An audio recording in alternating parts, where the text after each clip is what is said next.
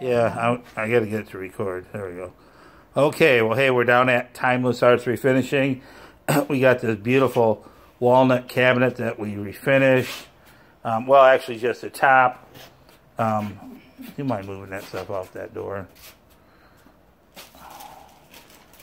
Yeah, thank you. And um, and after we got the cabinet completed, the owner um, called me and said he'd like to have this The ivy leaves. the ivy leaves painted back on the top, which uh, this is what it looks like on the on door. So right here. So that's what it looks like on the door. When the cabinet came to me, it did not have any ivy leaves on it, but I could tell that it did have them on at one time. Um, so anyhow, Sandy's um, doing a little painting over here. I'm sorry, I'm going a little fast. And what she does is she's put on a little um, This is the pin dot pattern yep, pinned up pattern, and she's that I made, and now I'm just paint painting in the little leaves back on. We're just gonna.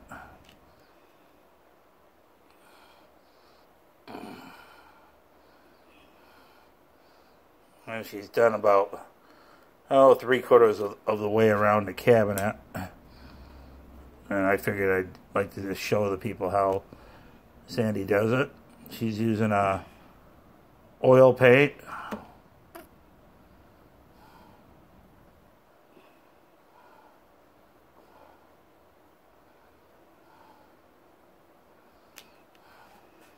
Once again, this is going back on a John Widdicomb's cabinet that somebody was playing with the top before it came to me.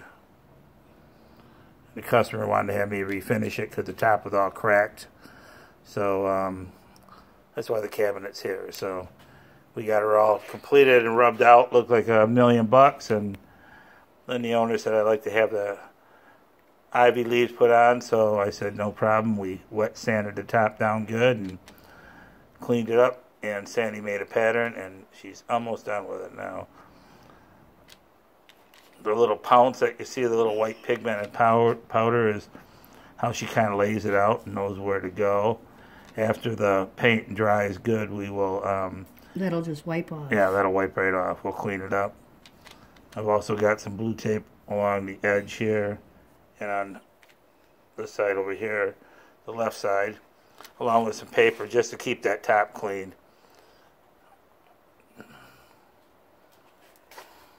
Normally, Sandy wouldn't have, she wouldn't have taped that up like that, but it, anyway, honey. Yep. No, you're fine.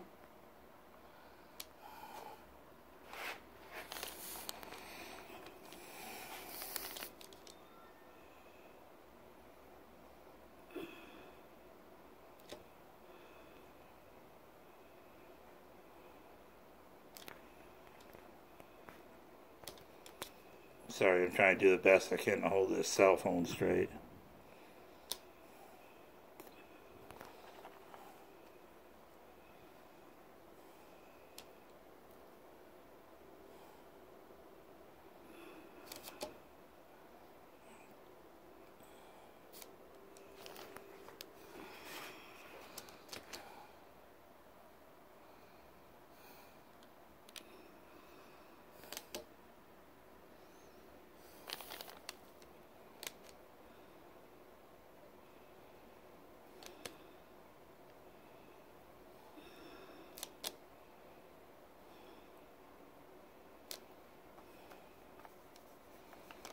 So if anybody out there sees this and on YouTube and you got a piece of Kindel or Widdicomb's or Baker that was hand decorated like this and you need to need it done, we can do it down here at Timeless Arts Refinishing in Grand Rapids.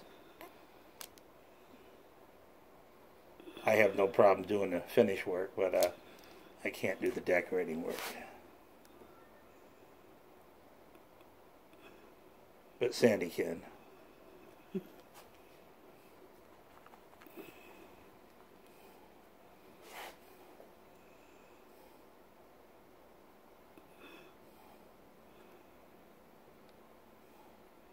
You did that whole thing with your lining brush? Yeah. It was just quicker this way.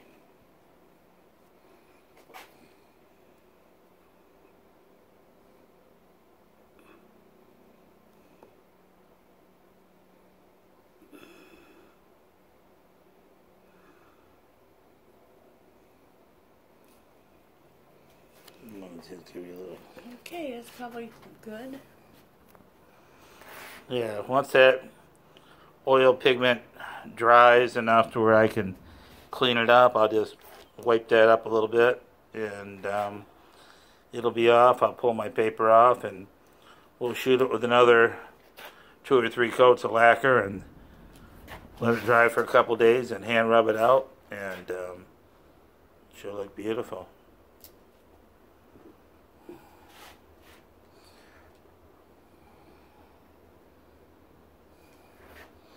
Was that. Thank you. You're welcome, honey. This is the original one on the door here.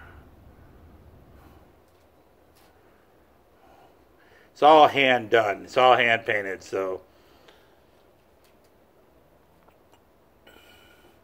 being hand painted, everything looks a little bit different.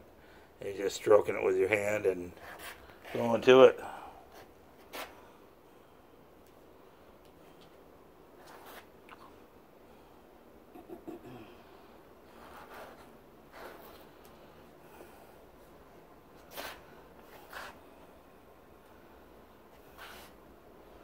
Trying to move kind of slow here.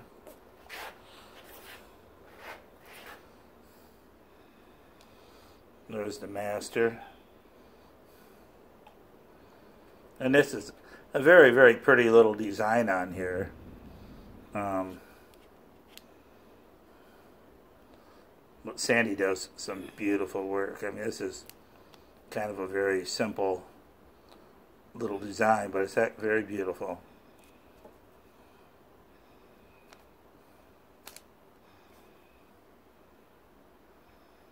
Just to let her finish up. kind of rough working in here the last few days. They take a grand piano out and they bring another one in here. There's a little spinet piano here. We got some nice bottles of water and some more furniture over here. More stuff buried over here and over there. But we've been uh, steadily kicking it out the door, so that's all we can do.